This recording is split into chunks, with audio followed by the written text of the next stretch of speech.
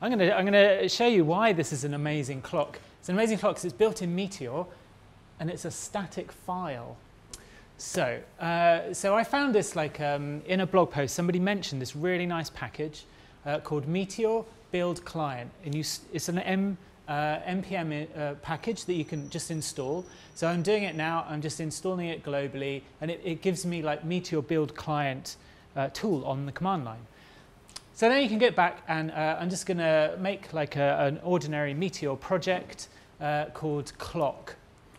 and I've chosen that name because because the feature, the main feature is a clock.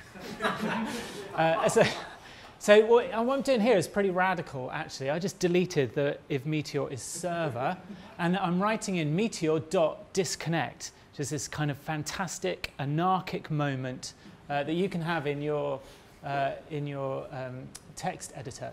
Uh, okay, so the idea of this is that you, we're basically going to pull away the front end of Meteor uh, and just think about the front end uh, of Meteor.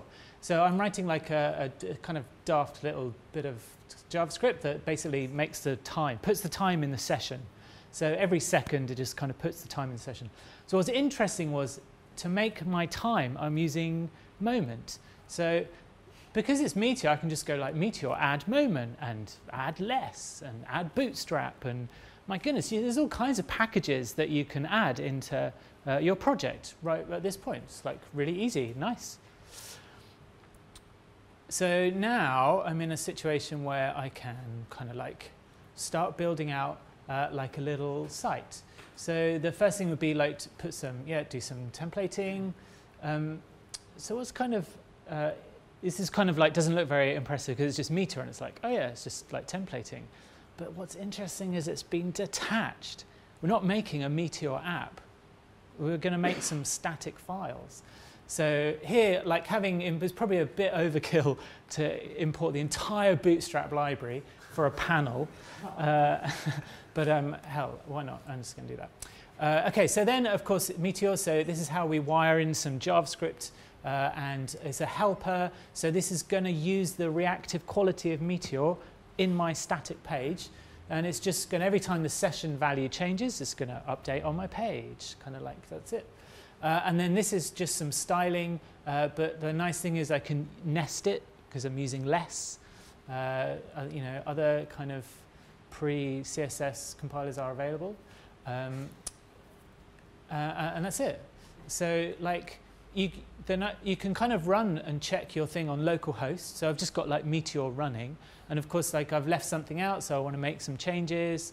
So just make some changes. Uh, reload, maybe once again, reload. Um, ta-da, I can see my changes.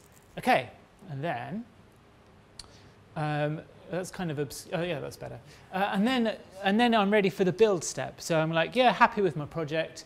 Uh, I'm going to do like Meteor, build client. Uh, this is the directory where I'm going to put it. Make sure it's outside of your project. This is like the path, and it's making all of the paths uh, like absolute, so it'll work with a static file. Uh, and then Meteor does its thing, it bundles the Meteor app. So this is actually part of your, your build step when you use Meteor anyway. Uh, it's just like, just separated it out so you can use it on its own. If I go into, I'm going to open the result. So this is what I get from my build step. Uh, and I get like um, my, you know, the HTML static page, and then these two, which is all uh, minified for me, kind of like the CSS is all minified. It's like, yeah, man, cool. Just to check that it works. There it is. So it's a static file. So well, like, why is this interesting? Why would you want to do something like this? So I've managed to make, like, in minutes, uh, a static uh, website, single page app, uh, that's minified, uh, like the, simple build step. How would, how would you do this if you weren't using Meteor like this? You might have to use a Yeoman scaffolder, maybe. Or you might have to, you might have to like get a grunt file to do some of, some of this work for you. You just use JavaScript. Yeah, you could just write. You could just do write your own scripts, npm scripts so the nice thing about this, what, what I like about this is if, if you're interested in introducing Meteor to somebody, this is a really nice way of doing it. In work, for example, you might need to build out a front page. So you could do it like this and you could go, yes, build it in Meteor. The other cool thing is like uh, you could build a single page app and share it with somebody who doesn't have Meteor on their computer. So in, in work, we had this situation where uh, we were building like a static website uh, and um, uh, we had different ways, thoughts about doing it, and we kind of like decided like getting the client to install Meteor on their Windows machine so that they could run it was it not going to work. Uh, but this would work. You could open this on a Windows machine and it would, it would work. Like it's uh, got that kind of backwards compatibility.